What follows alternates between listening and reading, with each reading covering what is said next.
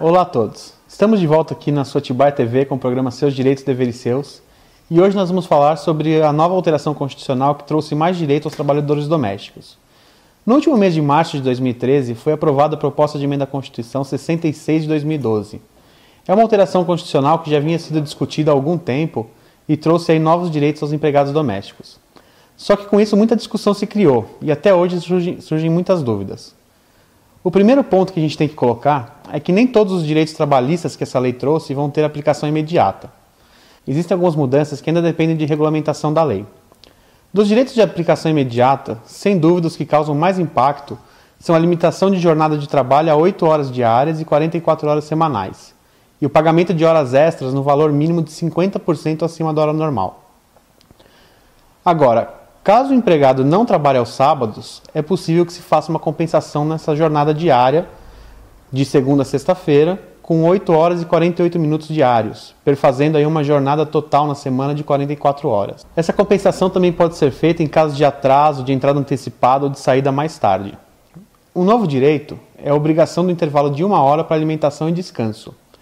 Dessa forma, um pedido muito comum que era feito pelas empregadas de chegar uma hora mais tarde e compensar o almoço não pode mais ser feito. Os empregadores não devem aceitar esse pedido porque hoje esse intervalo é obrigatório. Então, mesmo se o empregado declarar por escrito que desejou fazer isso, ele pode questionar em juízo que não teve direito ao seu horário de almoço. Quanto à hora extra, muito embora hoje seja obrigatório o pagamento, essa alteração está trazendo grandes transtornos, justamente pela dificuldade de se estabelecer o horário do empregado doméstico. Na residência você não tem um cartão de ponto ou alguma outra forma de controle mais rígido. E na maioria das vezes o empregado está sozinho em casa, você não está ali controlando o seu horário. Então não é possível saber exatamente o horário que ele entrou e que ele saiu da sua casa. Muita gente tem colocado a possibilidade de você comprar um livro de ponto em qualquer papelaria, onde o empregado colocaria lá o horário que ele entrou, que ele saiu que ele parou para almoçar. Mas mesmo assim esse problema se mantém, porque não existe um controle rígido e diário dos patrões desses horários. Segundo a CLT, só os empregadores que possuem mais de 10 funcionários na sua empresa ou na sua casa têm a obrigação de manter o controle escrito de jornada. Segundo a CLT, só os empregadores que possuem mais de 10 funcionários precisam manter a anotação escrita do horário de entrada e saída dos seus trabalhadores. No caso dos empregadores com menos de 10 funcionários, não é necessário, e quem tem que fazer a prova do horário é o funcionário. Assim sendo, se o patrão conseguir ter uma fiscalização do horário, é interessante o livro de ponto. Caso contrário, é melhor você não ter nenhum tipo de controle. Caso o empregado durma na sua casa, o cuidado com a hora extra deve ser ainda maior. Para se evitar, o melhor a fazer é observar a jornada máxima permitida por dia e não solicitar nenhum tipo de serviço após o final deste período. Caso contrário, a hora extra tem que ser paga. E essas horas são limitadas até duas horas por dia. Ou seja, em nenhuma hipótese a jornada pode é, exceder as 10 horas de trabalho diário. Com essas alterações, ficou claro que manter o empregado doméstico se tornou muito mais caro.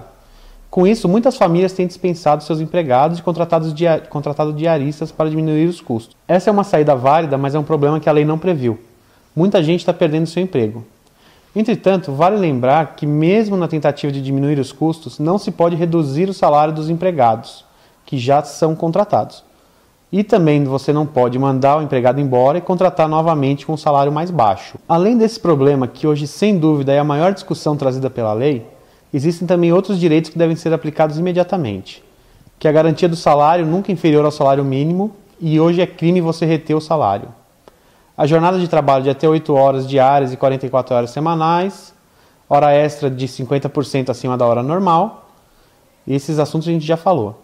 E o reconhecimento dos acordos coletivos de trabalho, proibição de diferença de salários por motivos de sexo, idade, cor ou estado civil, proibição de qualquer discriminação do trabalhador deficiente, proibição do trabalho noturno perigoso ou insalubre aos menores de 18 anos e proibição de qualquer trabalho aos menores de 16 anos, exceto os aprendizes que podem trabalhar a partir dos 14. Além desses, alguns direitos foram trazidos por essa PEC, mas ainda precisam ser regulamentados por lei.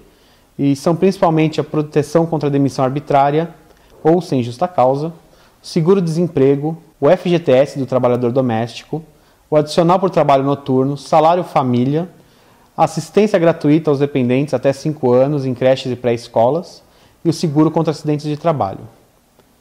Então, como foi pedido aí pelo Facebook, pela nossa amiga Flávia, A gente falou um pouco aqui hoje dos direitos dos trabalhadores domésticos. Então, para mais informações, você pode entrar no site do Ministério do Trabalho, que está aqui na tela, e lá tem a cartilha com todos os direitos dos empregados domésticos. Qualquer dúvida ou sugestão é só mandar para a gente pelo Facebook ou então por e-mail que a gente responde.